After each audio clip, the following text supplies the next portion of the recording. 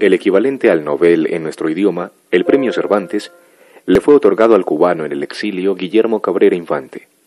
Con este reconocimiento vuelve a destacarse la obra de Cabrera, una de las más atractivas por su humor y originalidad.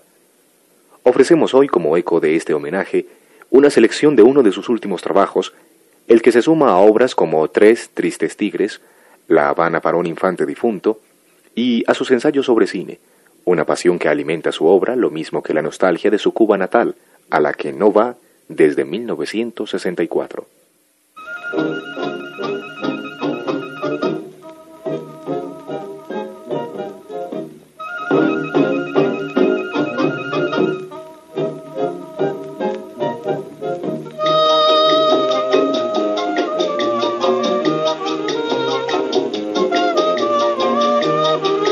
Llovía todavía.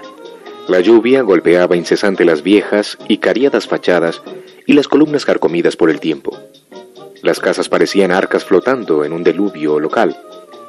Una sola pareja estaba a resguardo simplemente porque los dos se sentaban en el comedor de un restaurante de moda. El hombre miraba ahora el mantel blanco como si fuera estampado. La mujer iba de blanco, como el camarero que vino a tomar la orden con un despliegue florido de pluma, libreta y manos. El hombre era moreno, pero ni alto ni buen mozo, y era el único que no vestía de blanco. Le gustaban los colores serios. ¿Qué vas a comer tú? Ella levantó la vista del menú. También era blanco, pero tenía una inscripción verde en la tapa que era a la vez un engaño y un desengaño. Restaurant La Maravilla. Era, claro, solo un nombre y aunque era un restaurante, no era una maravilla. Los ojos de la mujer se veían casi glaucos a la blanca luz de las candilejas que venían de todas partes. La luz universal de Leonardo, pensó el hombre, mientras la oía hablar a ella con el camarero en un susurro teatral o apagado por la lluvia que sonaba como tambores cercanos a través de la cristalera. ¿Y usted, señor? Era el camarero que lo atendía ya. ¿Qué carne hay? Ninguna, señor, hoy es viernes. ¿No hay dispensa? ¿Cómo dice? No, no tiene importancia. Tráigame costillas de cordero. El cordero está en veda. ¿Cómo va a estar el cordero en veda? A menos que ustedes lo casen. Quise decir que no me queda. Quiso, pero no lo dijo. Perdón. ¿Qué hay hoy? Solo pescado, como es viernes. Mm, ya ve, eso sí lo dijo. En efecto. Bueno, tráigame pargo con... Pargo no hay. Ah, está en veda. No, no nos lo han traído. ¿Qué es lo que hay entonces? De pescado hay cherna, lisa, atún, bonito, sierra, serrucho, aguja, dorado. Está bien, está bien, me basta. Tráigame una rueda de sierra a la plancha. ¿Seguro que no la quiere frita? Sabe muy bien así. Tráigame, por favor, la sierra a la plancha. Como quiera el señor. ¿Y qué más? ¿Qué más qué? ¿Quiere la sierra sola o acompañada? Eh, con puré. ¿De papas o de otro tubérculo? ¿Cómo diablo sabe este hombre que es un tubérculo? De papas. ¿Con o sin guarnición? Como no soy militar, sin. Ella susurró. A ver si te escupe la comida. Y él solo sonrió. Ah, eh, y una malta. Como el hombre no era irlandés, tampoco quería decir whisky, sino una bebida ligera hecha de azúcar quemada y malta y llamada en Cuba Malta. Tautologías tropicales. ¿Quieres algo de beber? le preguntó él a ella. Apuesto a que sí. Pensó él y ella dijo que tomaría una cerveza, mm, ya que no es una menor. Mientras venía el almuerzo, él la miró a ella con detenimiento. Mm, tampoco es ahora una señorita. Ella levantó sus ojos del inmaculado mantel para mirarlo a los ojos. Doña Desafío, ¿por qué no pareces derrotada ahora? Debías. ¿Te enteraste? ¿En qué piensas? Quiso saber ella y su voz sonó extrañamente, suavemente, paradójicamente calma. Si tú supieras, muchacha, si supieras. Pero lo que él dijo fue, no, en nada, nada en particular. ¿Me examinabas? Miraba tus ojos. Ojos de cristiana en una cabeza pagana. La cabeza es mía, pero la frase es tuya. Sonrió él. En realidad estaba herido leve de tedio.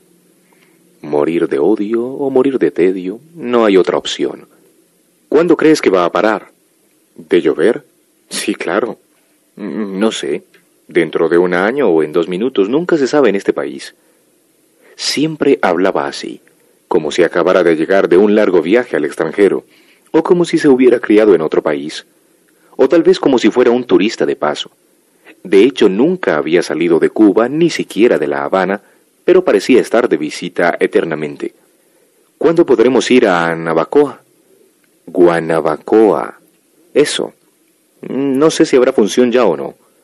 La lluvia es mucha. Mucha, como el pintor. ¿Qué pintor? Ah, uno que no conoces. Dejaron de hablar por mutuo acuerdo. El hombre miraba, siempre miraba. Miró a la plaza que rodeaba las columnas en deterioro perenne, a lo largo de la calle colonial todavía empedrada con adoquines azules, a la iglesia aún más vieja que la plaza con su fachada vuelta verde por el moho, y a los escasos arbolitos emaciados por el monóxido de carbono. Era un paisaje escuálido, lívido. Utrillo se volvería loco por estar aquí ahora a pincel en mano. Pensó momentos antes de notar que ella lo escrutaba. ¿En qué piensas? dijo él. Prometiste decirme la verdad, a toda la verdad. Te lo iba a decir de todas maneras. Yo... Se detuvo. Se mordió el labio inferior y luego abrió ancha la boca. Lo hacía a menudo. Él le había dicho varias veces que dejara de hacerlo. No se veía bien haciendo tal mueca. Pensaba que... que no sé por qué te quiero. Eres exactamente lo opuesto al hombre de mis sueños. ¿Quién es el hombre de tus sueños? ¿Rack Hudson? Te anuncio que no le gustan nada las mujeres. Ella ni siquiera sonrió, sino que continuó. Mm, pero de todas maneras te miro y siento que te quiero. Es más, me gustas. Ah, gracias mil, dijo él petulante. Por favor, dijo ella molesta. Era su turno de mirar al mantel blanco como un mantel con obra.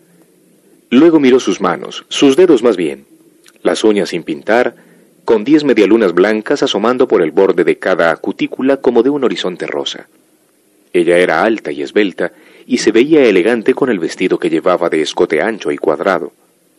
Sus senos eran en realidad pequeños, pero la curva de su pecho hacía parecer que tenía mucho busto.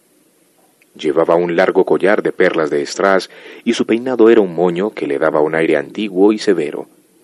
Su sonrisa, sin embargo, era cálida y acogedora, y sus labios eran plenos, parejos y perfectos y rosados, como rosadas eran también sus encías que enseñaba al reír. Sus dientes hacían juego con las perlas. No usaba maquillaje excepto tal vez una línea oscura en las comisuras de sus largos ojos, que hacían sus pupilas amarillas más grandes y más claras. Era una mujer de veras bella. Muy molesta, no volvió a hablar antes de acabar de comer. Como estaban solos en el restaurante, a él le gustaba comer en comedores vacíos, solo se oía el sonido metálico de cubiertos sobre losa que se mezclaba con el ruido cercano de la lluvia y el rumor evanescente de la música indirecta. La música perfecta, pensó él, como le gustaba a Satie. La musique d'ameublement. La música tan útil como una silla y tan impersonal. Cuando acabaron, el camarero retiró el servicio y desapareció para reaparecer a barrer la mesa con una escobilla y una pequeña pala de metal blanco. Luego hizo un rollo con el mantel manchado y lo reemplazó con otro mantel fresco y se fue de nuevo. El hombre sacó entonces una pluma y empezó a dibujar en la superficie impoluta de la tela lo que parecía una casa de muñecas diseñada por un mediocre Le Corbusier de las islas. ¿Algo más?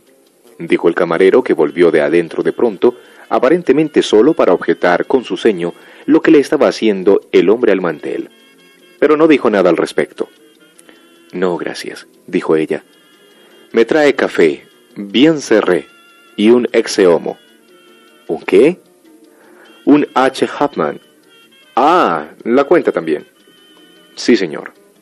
Cuando se fue el camarero, dijo ella, ¿vas a fumar? Ella odiaba fumar, pero más odiaba que los otros fumaran, como su madre. Era una especie de tabaquina por persona interpuesta. Por supuesto, dijo él. Vaya, vaya. Y mi madre que me predijo que terminaría casándome con un hombre bajito y prieto que fumaría tabacos. Ah, profética la anciana, dijo él, pero falló en su predicción. No nos hemos casado todavía. Mejor así. La miró y sonrió. pero ella no devolvió su sonrisa. Ojalá que no hubiera ocurrido nunca. Sabía a qué se refería ella, pero en vez de obviarlo lo hizo obvio. ¿Por qué? ¿Cómo que por qué? Porque sí. Siempre te crees que todo es tan fácil. Al contrario, la vida es complicada y difícil. Lo que es difícil es seguir viviendo después. Podía continuar su línea de pensamiento tan fácilmente como escoger la sección de una curva que resultará recta.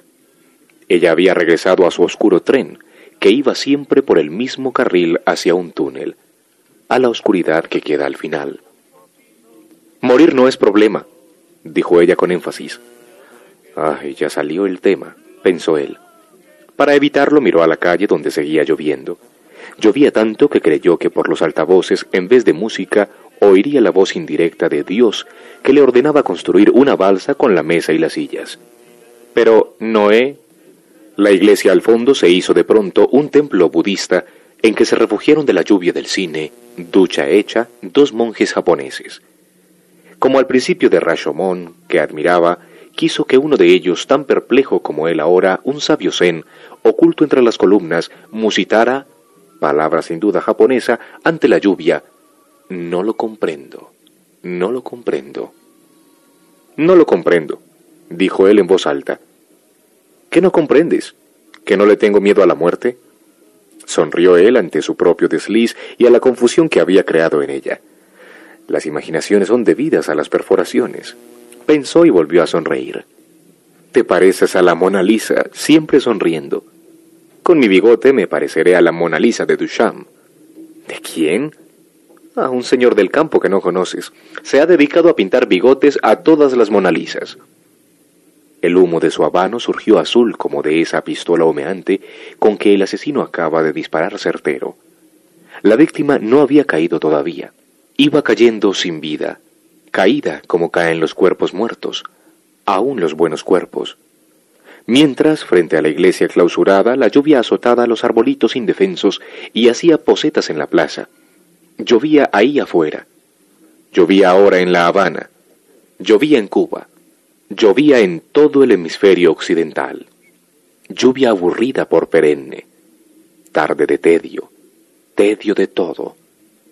Tedio, te odio. ¿Qué cosa es? ¿Qué cosa es qué? Lo que dibujas. No es un dibujo, es un diseño de días de sueño. Parece una casa. Parece una casa, pero es una prisión, que es lo que son todas las casas. Ella se sintió incómoda y comenzó a ponerse de pie. ¿Nos vamos? ¿No estás viendo que está lloviendo, que estoy lloviendo? Pero ella tenía más sentido del amor que del humor. Iba a llover toda la santa tarde, toda la noche y la madrugada, dijo ella y se puso finalmente de pie. Siéntate ordenó él casi con furia. Por favor, siéntate y oye que te voy a contar un cuento. Ella se sentó de nuevo y él guardó su pluma. Como sabes, como creo que sabes, como debías saber, el Hotel Presidente ha sido siempre favorito del turista. Tal vez sea por su fachada elegante de ladrillos rojos con piedra rosa que le recuerda a un Brownstone natal y su interior eduardino, todo diseñado por un arquitecto americano, o por lo que sea. En todo caso, no hace muchos años vino una pareja de Nueva York a hospedarse allí y movió el salero y el pimentero hasta hacerlos una pareja de cristal por un fin de semana. Cuando fueron a regresar hubo un inconveniente, la lluvia que no cesa. La mujer estaba más impaciente que el marido por coger el avión de vuelta. Ella sabía mejor que él que estaban atrasados y perderían el avión. Se comportaba ella como si fuera el último avión en horizontes perdidos y de cierta manera lo fue. Avión o no avión, ella estaba más inquieta que nadie. El portero, que acababa de guardar su paraguas porque había escampado después de estar lloviendo todo el día, les dijo que no dejaran el hotel todavía. Aunque la lluvia había cesado, la calle estaba anegada. ¿Cómo anegada? preguntó la mujer y el portero le dijo señalando, Inundada, señora. ¿No lo ve? Ella protestó, Pero tenemos que regresar. El portero se encogió de hombros como diciendo, Allá usted, señora, sin decirlo. Debemos irnos, explicó ella, y esa fue su famosa frase final, aunque debió decir, Quiero irme. El marido delante y la mujer detrás salieron cargando sus maletas sobre sus cabezas, tratando de vadear la inundación. La mujer sonrió sabia cuando vio que el agua no llegaba más que a los tobillos. De pronto, con esa sonrisa en los labios, desapareció. ¿Cómo que desapareció? Desapareció para siempre, y el hombre chasqueó su pulgar contra el dedo medio, haciendo un sonido final. Así. Solo quedó de ella su maleta flotante. No puedo creerlo. Créelo. Sucedió así. La mujer ansiosa adelantó un pie y metió la pata. Primero los pies y las piernas y después todo el cuerpo. Era tan delgada como tú y fue tragada por las aguas. Entró a una cloaca abierta. Nunca encontraron su cadáver. El cónsul americano ofreció su veredicto al marido como un pésame. That by drowning murió ahogada al caer por el hueco de una alcantarilla que una ola había destapado y fue a dar al mar, que como sabes está solo a dos cuadras del hotel y a tres de este restaurante acogedor. Como punto final a su historia, el hombre empujó el salero hasta hacerlo caer sobre el mantel primero y luego al suelo. Ahora recogió un poco de la sal derramada y la esparció sobre su hombro izquierdo, donde formó una fina caspa. La mujer solo vio el salero que caía. ¿Desapareció de veras?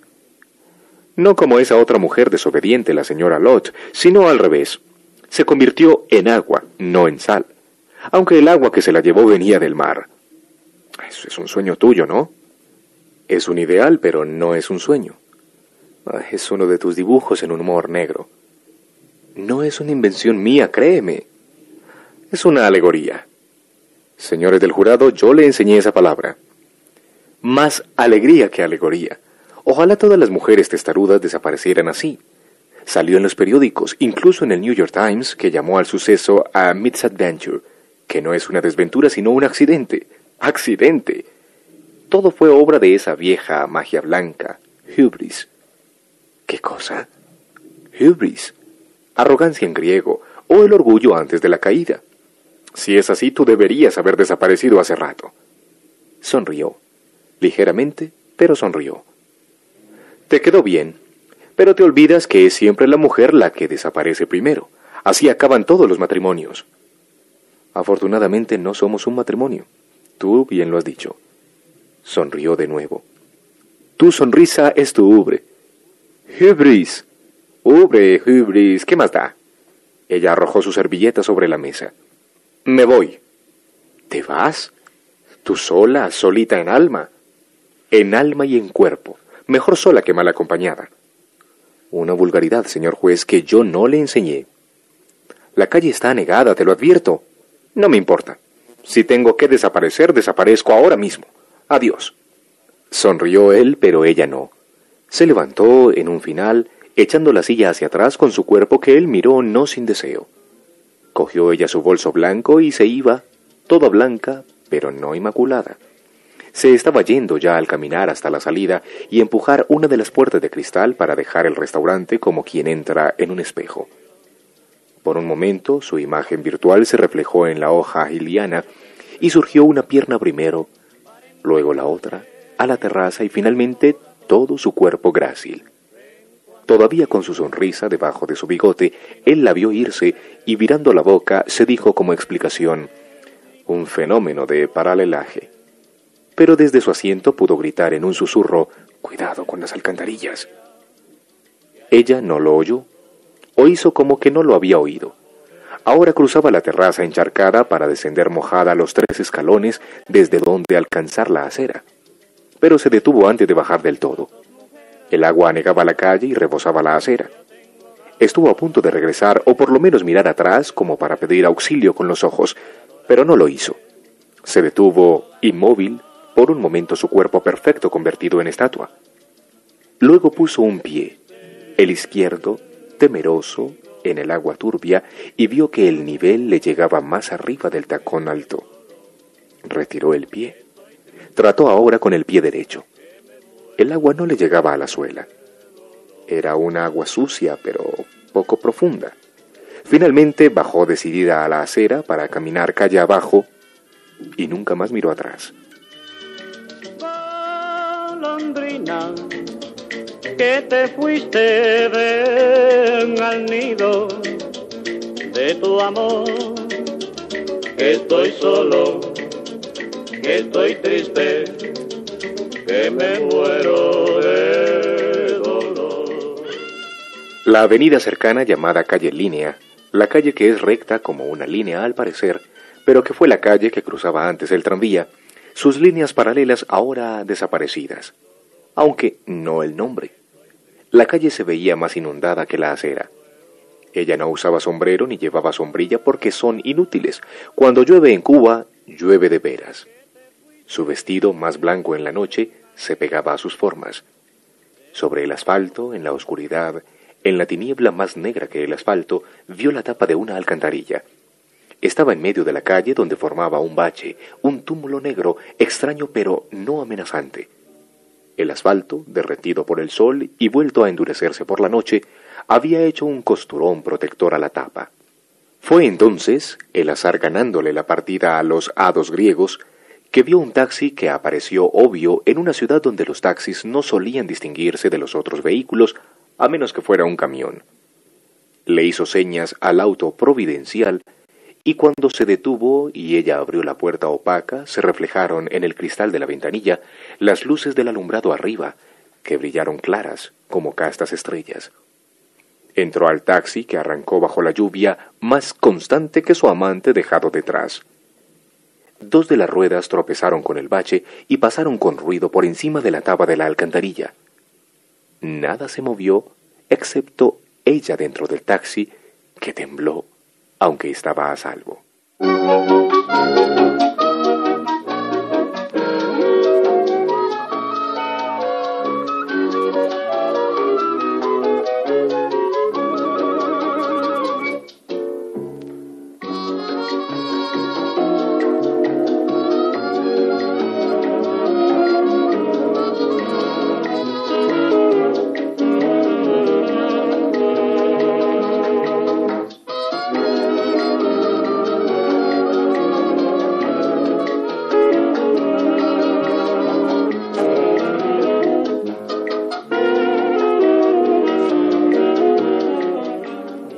En literatura para oír han escuchado Relato de Guillermo Cabrera Infante, Premio Cervantes.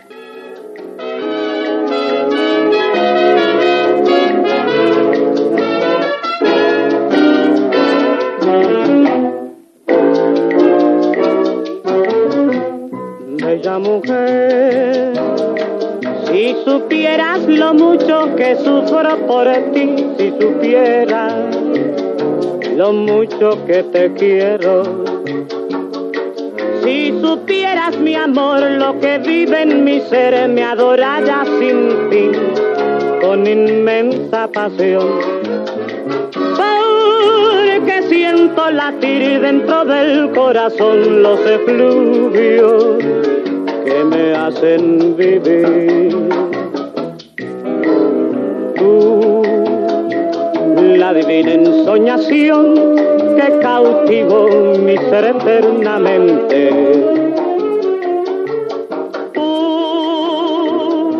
la delicada flor cuyo esplendor ha turbado mi mente.